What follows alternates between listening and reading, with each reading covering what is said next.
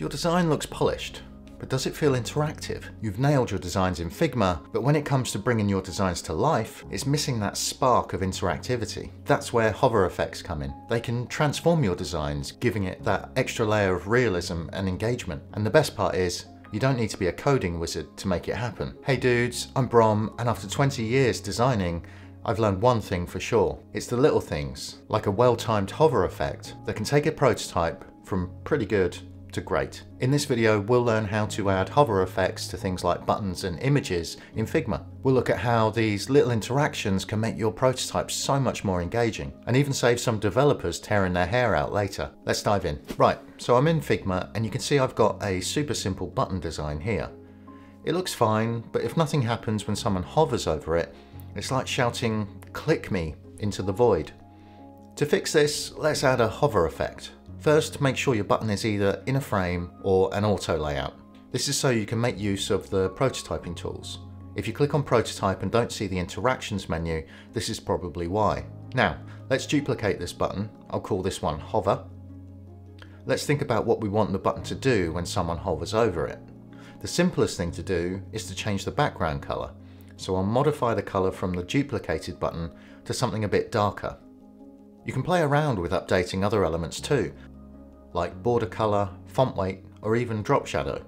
But let's stick with just color for this.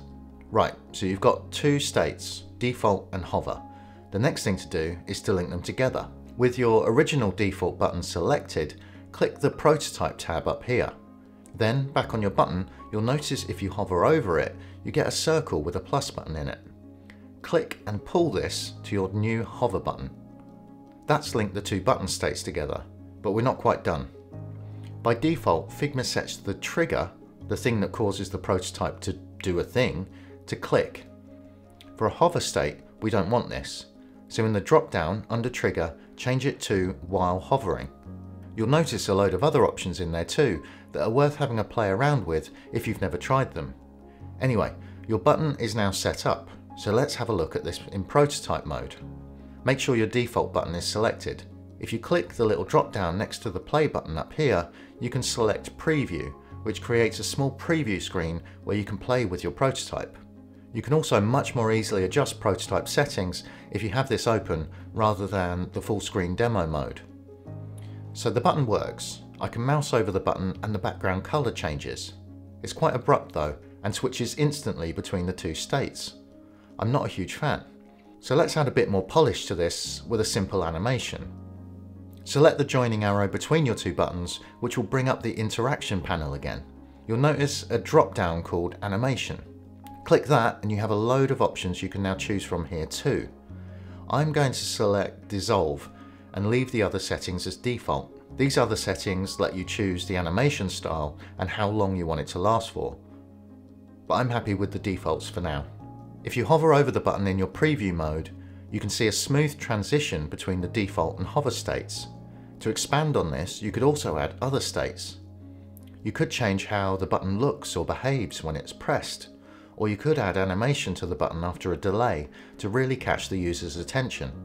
So that was a super simple way to add basic hover effects to buttons. Here's another example of how hover effects can really elevate your prototypes, this time for images. On the left I have an image I downloaded from Unsplash via the Figma plugins section. And on the right, I have a frame with the exact same dimensions.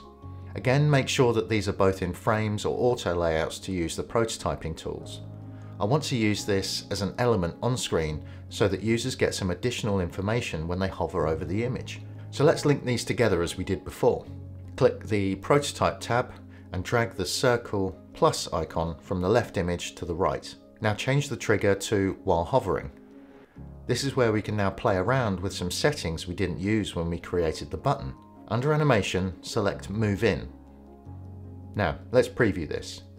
You'll see that when you hover over the image now, the second image moves over. Pretty cool and very easy to set up. You can also change the direction the second image moves in from using these arrows here. There are also slight variations on the animation style too. Let's change this to push for example. You'll notice that the second image now pushes out the first. And finally, let's try slide in. You'll notice this is like a combination of move in and push with a slight effect on darkness of the original image as it animates. Play around with all the settings and you can find some really interesting combinations that will make your prototypes really come to life. These hover effects aren't just eye candy, by building them into your prototypes, developers get a clear picture of the interaction you envision. And they can actually use Figma to pull out important variables and code they will need to match your prototype.